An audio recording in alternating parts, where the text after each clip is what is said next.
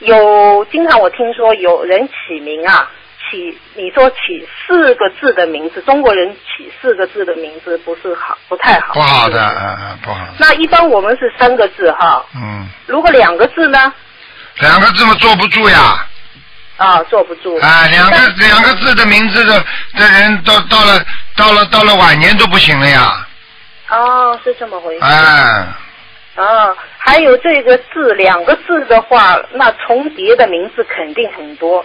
像这样阴天阳间，会不会搞错人啊？不会的，因为每个人的气场不一样。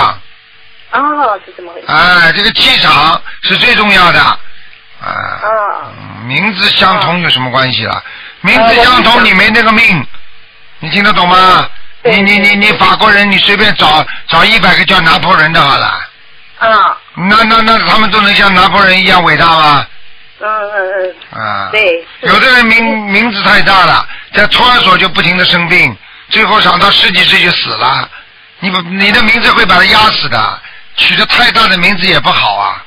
啊，还有我听你以前的那个讲的时候说，那个古人的名字最好不要去。不能用的。啊。过去有一个双胞胎呢，那他爸爸呢懂点文文学呢。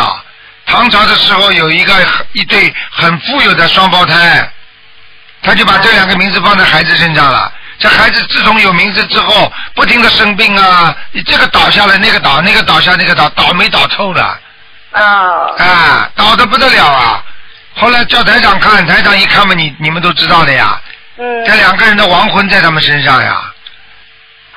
还有是不是这两个人这个福分没有啊？对呀、你如果嗯你如果命中很有钱的话，他们两个人的名字给了也不好，明白吗？好的，嗯。你去看看好了，哪有名字一样的？嗯。明白了吗？你比方说你现在李嘉诚有钱，你在下一辈子你再出来一千个李嘉诚好了，有几个人会像李嘉诚一样有钱了？